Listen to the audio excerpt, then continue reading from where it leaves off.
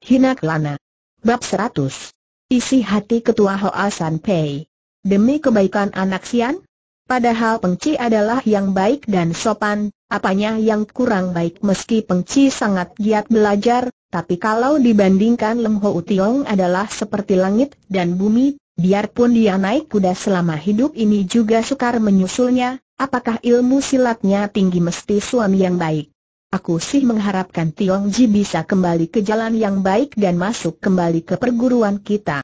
Tapi dia suka yang baru dan bosan yang lama, dia gemar minum, arak, dan tingkah lakunya kurang baik, betapapun kebahagiaan anak Sian tidak boleh dikorbankan. Mendengar ucapan sang ibu guru itu, seketika Leng Ho Tiong berkeringat dingin. Pikirnya, penilaian Sunyo atas diriku memang tepat. Tapi, tapi bila aku dapat memperistrikan Xiao Sumoai, masakah aku bisa mengecewakan dia?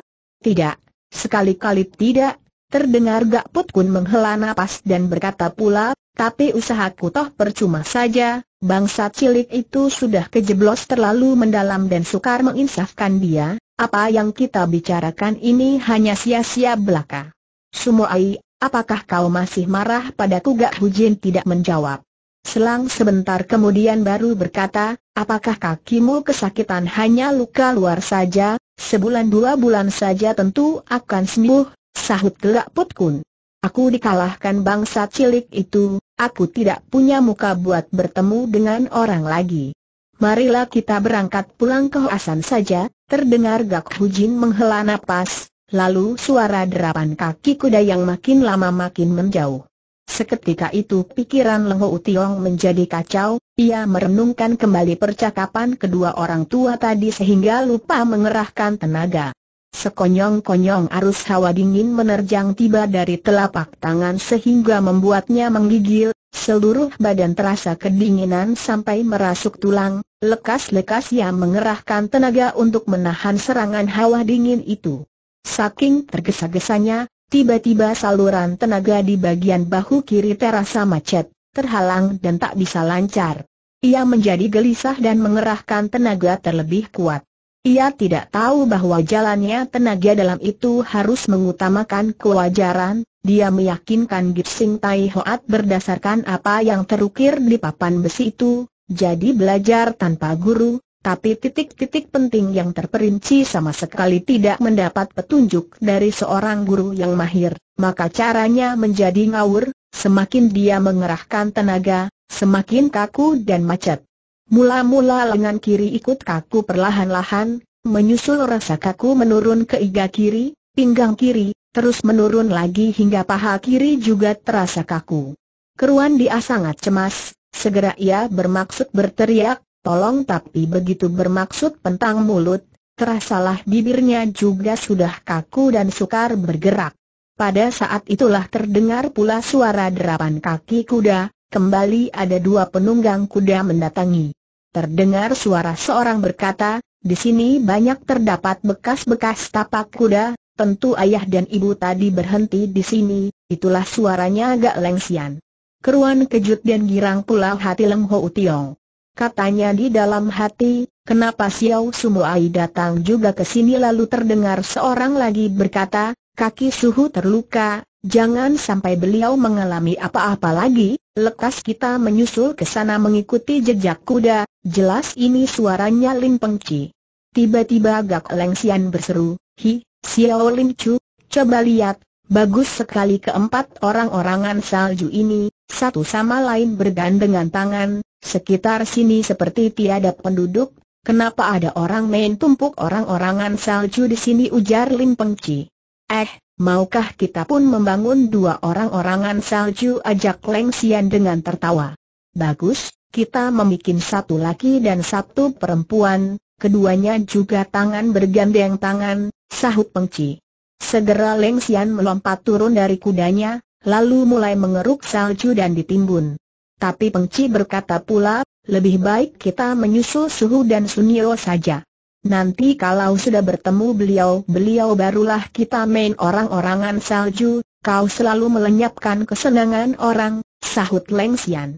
Meski kaki ayah terluka, tapi dia menunggang kuda, apalagi didampingi ibu, masakah khawatir diganggu orang? Tatkala beliau berdua malang melintang di dunia Kangou dahulu kah sendiri belum lahir, tapi sebelum kita ketemu Suhu dan Sunio, rasanya tidak tenteram untuk main-main di sini, kata Pengci. Baiklah, aku menurut kau. Tapi sesudah bertemu ayah dan ibu nanti kau harus menemani aku membuat dua orang-orangan salju yang bagus, sudah tentu, sahut Pengci.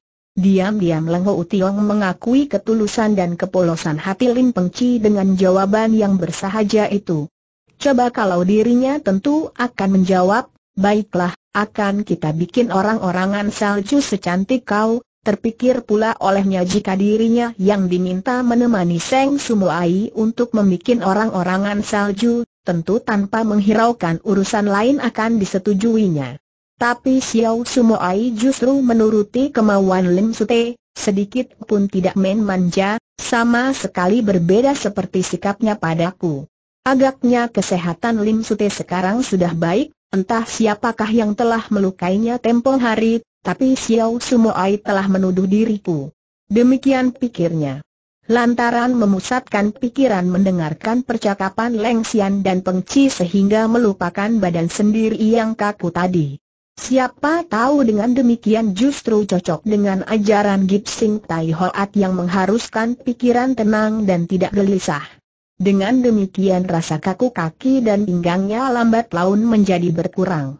Tiba-tiba terdengar Gak Lengsian berseru, baiklah, tidak jadi membuat orang-orangan salju, tapi aku mau menulis beberapa huruf di atas orang salju ini, seret, ia terus lolos pedangnya.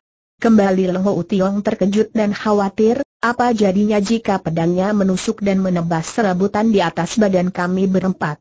Tapi sebelum dia sempat berpikir lagi, mendadak terdengar suara seret-seret berulang-ulang, Leng Xian telah mengukir beberapa tulisan di atas tubuh yang buntian yang berlapis salju tebal itu. Ujung pedangnya masih terus menggeser dan akhirnya sampai di atas badan Leng Ho Tiong. Untung ukirannya tidak terlalu dalam sehingga tidak sampai tembus dan melukai mereka. Entah tulisan apa yang dia ukir di atas badan kami demikian Leng Ho Tiong membatin. Cobalah kau pun menulis beberapa huruf, kata Leng Xian dengan suara lembut. Baik, jawab Pengci. Ia sambut pedang si Nona, lalu ikut mengukir beberapa huruf di atas keempat orang-orang salju. Ia pun mengukir dari kanan ke kiri, mulai dari badan Hiang Buntian dan berakhir pada badan Leng Ho Tiong. Leng Ho Tiong tambah heran, entah tulisan apa lagi yang diukir Lim Sute dalam pada itu terdengar Leng Xian sedang berkata, Betul, kita berdua harus demikian adanya, lalu mereka terdiam sampai agak lama. Tentu saja Leng Ho Tiong semakin heran, harus demikian apa? Biarlah nanti bila mereka sudah pergi dan racun dingin di tubuh Yim Kaucu sudah bersih dipunahkan baru aku dapat meronta keluar dari timbunan salju untuk melihat tulisan apa yang mereka ukir tadi. Tapi, ah tak bisa jadi. Begitu aku bergerak tentu timbunan salju akan rontok dan tak terlihatlah tulisan apa yang mereka ukir. Lebih-lebih kalau kami berempat bergerak sekaligus, tentu satu huruf pun tak bisa tahu lagi, selang sejenak pula, terdengar dari jauh ada suara derapan kaki kuda yang ramai, meski jaraknya masih jauh, tapi jelas menuju ke sebelah sini. Rupanya Pengci dan Lengsian masih belum dengar. Leng Hao Tiong dapat menaksir dari delapan kaki kuda itu sedikitnya adalah belasan orang. Ia pikir besar kemungkinan adalah anak murid Hoa San Pei yang menyusul tiba. Makin mendekatlah suara lari kuda-kuda itu. Tapi Pengci dan Leng Xian agaknya masih tidak menaruh perhatian. Leng Hao Tiong mendengar belasan penunggang kuda itu datang dari arah timur laut. Dari jarak satu dua li mereka lantas memencarkan diri, ada sebagian menuju ke jurusan barat, kemudian membelok dan sama-sama menuju ke sini, jelas mereka telah mengurung jalan lari Pengci dan Lengsian. Mendadak terdengar Lengsian berseru kaget, Hi, ada orang datang menyusul terdengar suara mendesingnya dua anak panah, lalu suara kuda meringkik ngeri dan roboh. Dalam hati Leng Ho Tiong menduga ilmu silat pendatang-pendatang itu tidak lemah, tujuan mereka juga keji. Dari jauh lebih dulu mereka memanah mati kuda-kuda Xiao Sumoai dan Lim Sute agar mereka tak bisa lari jauh. Sejenak kemudian belasan orang itu sudah mendekat sambil bergelak tertawa. Terdengar Lengsian berseru khawatir sambil mundur selangkah. Lalu terdengar seorang di antara pendatang-pendatang itu bertanya, Hehe, seorang adik cilik dan seorang genduk, Kalian ini murid siapa dan dari aliran mana Cai He murid Hoasan Pei bernama Lim Pengci, suciku ini Shigak, sahut Pengci dengan suara lantang. Selamanya kita tidak saling kenal, mengapa tanpa sebab kuda kami dipanah mati murid Hoasan Pei orang itu menegas dengan tertawa. Jadi guru kalian adalah Gak Sian Sing dengan julukan Kun Cuk Yam segala dan telah kalah bertanding dengan bekas muridnya itu Pengci lantas menjawab, Kelakuan Leng Hou Tiong tidak baik, berulang-ulang dia melanggar peraturan, maka setahun yang lalu dia sudah dipecat. Dia ingin mengatakan bahwa kekalahan bertanding sang guru kepada Leng Hou Tiong itu dapat dianggap kalah kepada orang luar dan bukan muridnya lagi. Genduk cilik ini sigak, pernah apanya gak tayu Chiang Bun tanya orang itu pula. Peduli apa dengan aku dan Prat Lengsian dengan gusar. Kau telah memanah mati kudaku, lekas ganti, wah, melihat kegalakannya ini, besar kemungkinan dia adalah Gundik Gak Putkun, kata orang itu sambil cengar-cengir. Serentak belasan orang kawannya ikut tertawa gemuruh. Mendengar kata-kata orang yang kasar itu, Leng Ho Tiong membatin orang-orang itu pasti bukan dari kaum Ching Pei dan mungkin sekali akan membahayakan Xiao Sumuai. Dalam pada itu Pengci telah berkata, Chuan adalah Lo Ciampu dari Kangou, kenapa bicara sekotor itu? Hendaklah tahu bahwa Suciku adalah putri kesayangan guruku, oh, kiranya adalah putri Gak Put Kun, haha, sama sekali tidak cocok dengan kenyataannya, ujar orang tadi dengan tertawa.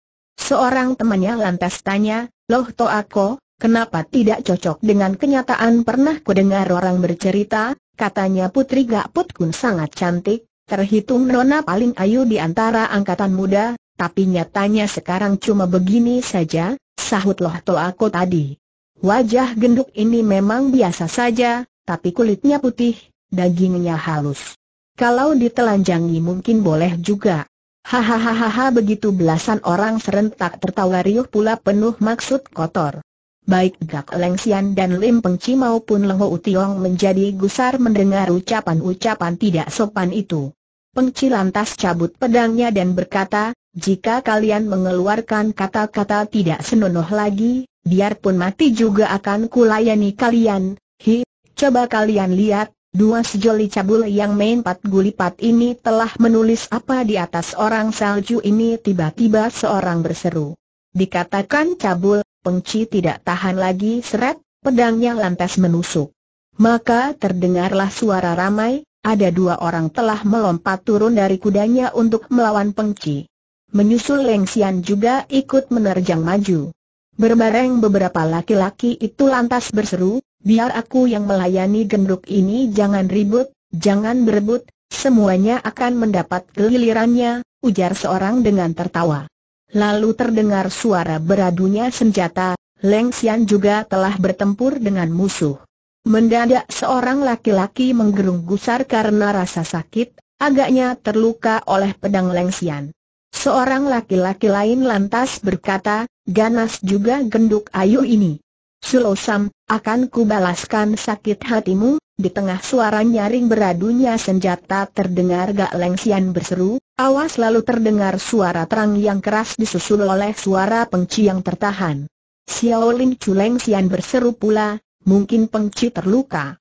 Kemudian pemimpin rombongan pendatang itu berseru, jangan membunuh dia, tangkap saja hidup-hidup. Kalau putri dan menantu Gak Put Kun sudah kita bekuk masakah jantan palsu Shiga itu takkan tunduk kepada kita Leng Ho Tiong coba mendengarkan lagi dengan lebih cermat, terdengar suara menderu sambaran senjata, agaknya Gak Lengsian memutar pedangnya dengan kencang. Mendadak terdengar suara terang, lalu suara plak lagi sekali. Seorang laki-laki lantas mencaci maki, kurang ajar, Lonte cilik mendadak Leng Ho Tiong merasa badannya disandari orang, lalu terdengar napas Gak Lengsian yang tersengal-sengal, nyata nona itulah yang bersandar pada orang saljunya itu. Setelah suara senjata beradu lagi beberapa kali, seorang laki-laki di antaranya lantas berseru girang, Masakah kau tak bisa kubekuk terdengar Lengsian berseru khawatir, lalu tidak terdengar lagi suara beradunya senjata, sebaliknya orang-orang itu sama bergelak tertawa. Leng Hao Tiong merasa Lengsian yang bersandar pada tubuhnya itu diseret pergi dan terdengar nona itu berteriak, lepaskan aku, lepaskan seorang di antaranya berkata dengan tertawa, Bun Lotoa, tadi kau bilang dia berkulit putih dan berdaging halus, Aku justru tidak percaya. Marilah kita belajeti pakaiannya, coba lihat betul tidak dugaanmu, semua orang lantas bersorak gembira setuju. Pengci memaki dengan gusar, kawanan bangsat, mendadak plak, ia telah ditendang sekali, lalu terdengar suara bret suara kain robek. Dengan jelas Leng Ho Tiong mendengar Xiao Sumuainya hendak ditelanjangi orang, mana dia bisa tahan lagi. Tanpa hiraukan keadaan Ye Mengko Heng, segera ia melepaskan tangan Inging yang dipegangnya itu terus melompat keluar dari timbunan salju. Tangan kanan dipakai mencabut pedang, tangan kiri lantas digunakan mengupas salju yang masih menutupi matanya. Tak terduga tangan kiri itu ternyata tidak mau menurut perintah, sukar bergerak. Di tengah suara teriak kaget rombongan orang tadi, Leng Ho Tiong sempat menggunakan pangkal lengan kanan untuk mengusap mukanya, pandangannya menjadi terang, pedang lantas menusuk ke depan, sekaligus tiga laki-laki itu kena dirobohkan. Cepat Leng Ho Tiong memutar tubuh, seret-seret dua kali, kembali dua orang dibinasakan lagi. Dilihatnya seorang laki-laki sedang menelikung kedua tangan Gak Lengsian, seorang lagi dengan golok terhunus siap melawannya. Ia menerjang maju, pedang menusuk iga laki-laki bergolok itu hingga tembus, sekali depak ia singkirkan mayat lawan sambil mencabut pedang dari mayat itu. Dalam pada itu ada suara orang menyergapnya dari belakang. Tanpa menoleh pedangnya menyabet ke belakang, kontan dua orang jatuh terkapar. Tanpa berhenti ia terus menubruk maju, pedang berkelebat, kontan tenggorokan orang yang menelikung tangan Gak Lengsian itu tertembus. Pegangan orang itu atas lengsian menjadi kendur dan terkapar di atas pundak nona itu, darah segar membanjir keluar dari lehernya. Keruan seluruh badan lengsian basah kuyup oleh darah. Sekaligus Leng Ho Tiong membunuh sembilan orang dalam waktu sekejap, sisanya masih delapan orang menjadi kesima ketakutan. Mendadak pemimpin rombongan itu menjerit terus mendahului menerjang maju sambil memutar senjatanya berbentuk perisai dan mengetuk ke atas kepala Leng Ho Tiong. Tapi cepat luar biasanya Leng Ho Tiong mendahului menusuk sehingga tepat mengenai muka orang itu. Kontan orang itu menjerit dan roboh terguling. Tidak berhenti sampai di situ saja, kembali Leng Ho Tiong menebas dan menusuk berulang-ulang, tiga orang kena dibunuh lagi. Sisa empat orang yang lain menjadi ketakutan setengah mati, mereka menjerit dan lari terpencar. Kalian berani kurang ajar terhadap Xiao Sumoaiku, satu pun tidak boleh diampuni, seru Leng Ho Tiong sambil memburu maju. Seret-seret dua kali, kembali dua orang tertebas putus kepalanya. Tinggal dua orang lagi lari ke dua jurusan, Leng Ho Tiong mengincar satu di antaranya, sekuatnya ia menimpukan pedangnya, satu jalur sinar perak meluncur secepat kilat dan tepat menembus punggung orang sedang lari itu sehingga terpantek di atas tanah. Habis itu Leng Ho Tiong lantas mengejar ke jurusan lain, kira-kira puluhan meter jauhnya orang terakhir itu pun sudah tersusul. Rupanya orang itu menjadi nekat, mendadak ia memutar tubuh terus membacok dengan goloknya. Baru sekarang Leng Ho Tiong ingat dia sudah tidak bersenjata lagi cepat melompat mundur. Orang itu menubruk maju dan membabat dengan goloknya, kembali Leng Ho Tiong mengelak dan melompat mundur lagi dan begitu seterusnya orang itu menyerang terlebih kalap dan berulang-ulang Leng Ho Tiong terdesak mundur. Tiba-tiba Gak Lengsian berseru di belakangnya, pakailah pedangku ini, Toa Suko waktu Leng Ho Tiong menoleh, Lengsian sudah melemparkan pedang ke arahnya, Cepat Leng Ho Tiong menangkap senjata itu terus memutar balik sambil bergelak tertawa. Saat itu lawannya sedang angkat goloknya hendak membacok, tapi ia menjadi kesima ketika sinar pedang Leng Ho Tiong berkelebat, seketika ia terpaku ketakutan malah. Perlahan-lahan Leng Ho Tiong melangkah maju, laki-laki menjadi gemetar, memegang senjata saja tidak kuat lagi, goloknya jatuh ke tanah. Tanpa terasa ia pun berlutut. Kau harus mampus untuk menebus dosamu, kata Leng Ho Tiong sambil menyodorkan ujung pedang ke leher orang. Tiba-tiba pikirannya tergerak, tanyanya perlahan, tulisan apa yang terdapat di atas orang-orang salju tadi tulisannya berbunyi, laut kering gunung runtuh, cinta kita tetap teguh, tutur orang itu dengan suara gemetar. Oh, begitu bunyinya Leng Ho Tiong menggumam kesima. Akhirnya ia dorong juga ujung pedangnya menembus tenggorokan orang itu. Waktu ia berpaling kembali, dilihatnya Gak Lengsian sedang membangunkan Lim Pengci. Badan kedua muda-mudi itu sama-sama mandi darah. Setelah berdiri Pengci lantas memberi soja kepada Leng Ho Tiong, katanya, banyak terima kasih atas pertolongan Leng Ho Heng, tidak jadi soal, sahut Leng Ho Tiong. Apa lu kamu parah? Tidak apa-apa, sahut Pengci. Suhu dan Sunio menuju ke sana, kata Leng Ho Tiong sambil menunjuk bekas tapak kuda. Sementara itu Leng Xian telah mendapatkan dua ekor kuda milik orang-orang tadi, ia mendahului mencemplak ke atas kuda dan berkata, marilah kita menyusul ayah dan ibu, dengan susah payah pengci menaiki kudanya. Ketika Leng Xian melarikan kudanya lewat samping Leng Ho Tiong, tiba-tiba ia menahan kudanya dan memandang ke mukanya. Perlahan Leng Ho Tiong mengangkat kepalanya, melihat si Nona menatap, ia pun balas memandang. Aku, aku ber, Leng Xian tidak dapat melanjutkan kata-katanya, segera ia berpaling kembali dan melarikan kudanya ke jurusan Gak Put Kun tadi. Termangu-mangu Leng Ho Tiong mengikuti kepergian Pengci dan Leng Xian, sampai bayangan mereka sudah menghilang di balik rimba sana barulah ia menoleh ke arah Yim Inggo Heng bertiga, dilihatnya mereka sudah membersihkan salju yang menempel di atas badan dan sedang memandang tajam arahnya. Hi, Yim Kau Chu, aku, aku tidak bikin susah padamu seru Leng Ho Tiong girang. Kau tidak bikin susah padaku, tapi kau sendiri yang konyol. Bagaimana lengan kirimu sahut Ye Go Heng? Untuk sementara terasa kaku, agaknya jalan darah kurang lancar sehingga tangan tidak mau menurut perintah, kata Leng Ho Tiong.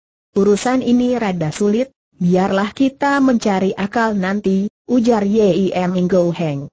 Barusan kau telah menyelamatkan Putri Gak Put Kun, maka anggaplah kau telah membalas budi kebaikan perguruanmu, selanjutnya siapa pun tidak utang budi lagi. Eh, Hiang Hiante, mengapa loh lo makin lama makin tidak senonoh, sampai-sampai perbuatan kotor begini juga dilakukannya dari nadanya dapat kuduga mereka seperti ingin membekuk kedua muda-mudi itu, kata Hiang Buntian. Apa mungkin mereka melaksanakan perintah Tong Huang Put Pei? Ada urusan apa lagi dia dan Gak Put Kun ujar Go Heng. Apakah orang-orang ini adalah anak buah Tong Hong Put Pei? Tanya Leng Ho Tiong sambil menunjuk mayat-mayat yang bergelimpangan di sekitar situ. Anak buahku, sahut Ye Go Heng. Leng Ho Tiong manggut-manggut dan membatin, ya, kedudukan Tong Hong Put Pei sebagai ketua Tiao Yang Sin Kau adalah direbutnya dari Ye Im Kau Chu, sudah tentu orang-orang ini tak bisa dianggap anak buahnya, dalam pada itu Inging telah bertanya, bagaimana dengan lengannya, ayah jangan khawatir anak manis, sahut Yem Inggo Heng. Anak mantu telah bantu mertua memunahkan racun dinginnya, sudah tentu bapak mertua akan berdaya menyembuhkan lengannya. Habis berkata ia tertawa terbahak-bahak.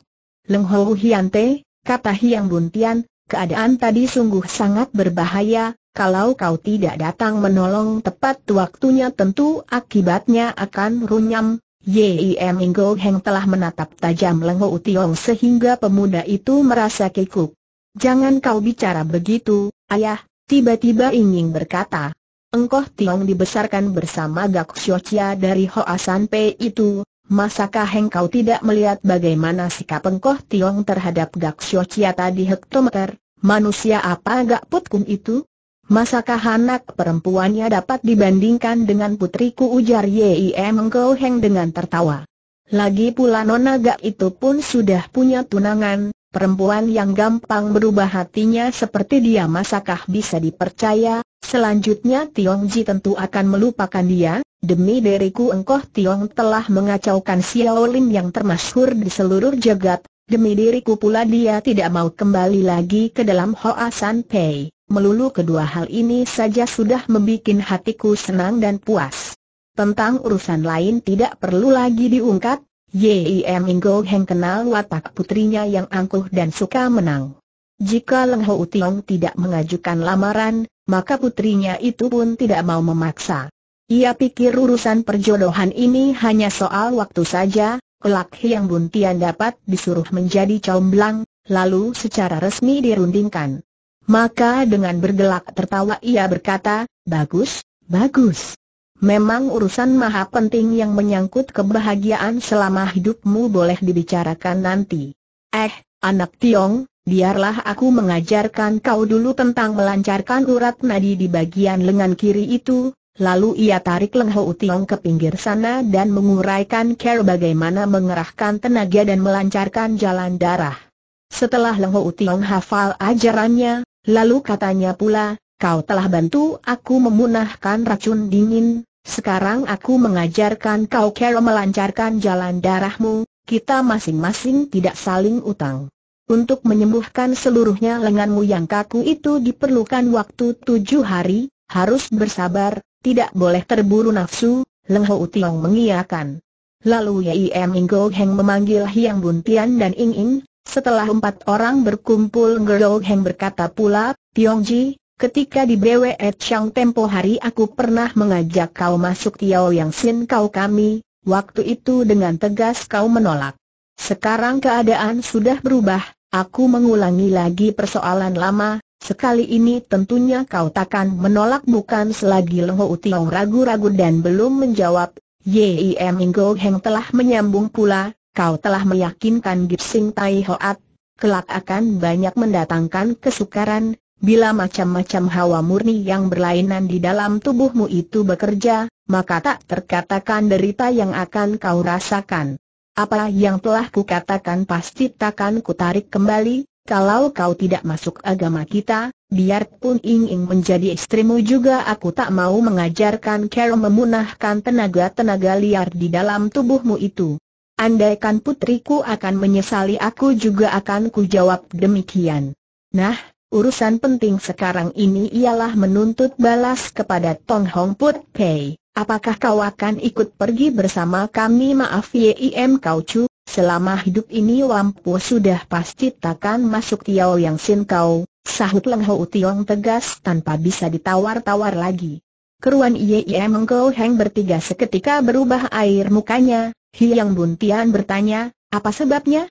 Jadi kau memandang hina kepada Tiao Yang Sin kau di dalam Tiao Yang Sin kau penuh orang-orang macam begini, sejelek-jeleknya Wampu juga malu berkumpul dengan mereka, sahut Leng Hou Tiong sambil tuding belasan mayat yang menggeletak di sekitar situ. Lagi pula Wampu sudah berjanji kepada Ting Sian Sutai untuk menjabat ketua Hing San Pei mereka, tiba-tiba air muka Yim Inggo Heng bertiga berubah penuh keheranan. Bahwa Leng Hou Tiong menolak masuk agama mereka tidaklah mengherankan, tapi ucapan yang terakhir itulah benar-benar luar biasa sampai-sampai mereka tidak percaya kepada telinganya sendiri-sendiri. Sambil menuding muka Leng Hou Tiong, Yim Inggo Heng mendadak terbahak-bahak geli. Sejenak kemudian baru berkata, jadi kau, kau ingin jadi nikoh? Akan menjadi Ciang Bunjin kawanan nikoh itu bukan menjadi nikoh, hanya akan menjadi Chiang Bunjin Hing San Pei saja, sahut Leng Hou Tiong. Sebelum mengembuskan napas penghabisan Ting Sian Sutai telah mohon dengan sangat kepadaku, jika Wampu tidak menyanggupi, maka mati pun Lo Sutai itu takkan tenteram. Apalagi kematian Ting Sian Sutai adalah karena diriku, Wampu juga tahu peristiwa ini pasti akan menggemparkan, tapi tak bisa menolak permintaan Lo Sutai itu, tapi Ye Ye Mengko Heng masih terus tertawa geli. Ting Sian Sutai mati bagi keselamatan anak, kata Ing Ing. Leng Hao Tiong melihat sorot mata si Nona penuh mengandung rasa terima kasih yang tak terhingga. Perlahan-lahan Yim Girl Heng berhenti tertawa, lalu berkata, jadi kau telah menerima pesan orang dan harus dikerjakan secara setia benar, sahut Leng Ho Tiong. Kematian Ting Sian Sutai juga lantaran mau memenuhi janjinya padaku, bagus juga, kata Ngo Heng sambil manggut. Aku adalah Loko Ai, si tua aneh, dan kau adalah Xiao Ai, si kecil aneh. Kalau tidak membuat sesuatu yang menggemparkan masakan bisa menjadi tokoh yang menggegerkan jagat ini. Baiklah, bolehlah kau pergi menjadi Chiang Bunjin kaum Nikoh itu. Sekarang juga kau akan berangkat ke Hingsan tidak, Wampo akan pergi lagi ke Xiao Lim Si, sahut Leng Ho Tiong. Yim Go Heng rada heran, tapi lantas paham, Katanya, ya, tentunya kau ingin mengusung kedua jenazah nikoh tua itu kembali ke Hingsan, lalu ia menoleh kepada Ing Ing dan tanya, apakah kau akan ikut Tiong Ji pergi ke Xiao Lim Si tidak? Aku ikut ayah, sahut Ing Ing. Betul, masakah kau juga akan ikut di ke Hingsan Pei dan menjadi nikoh di sana ujar Ringo Hang sambil bergelak tertawa, cuma suara tawanya penuh rasa getir.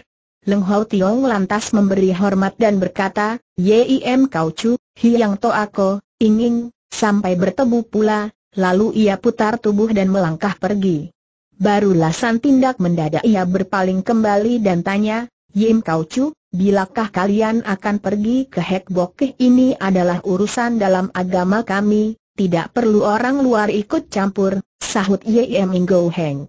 Ia tahu Leng Ho Tiong bermaksud membantu menghadapi Tong Hong Put Pei bila tiba waktunya, maka dengan tegas ditolaknya.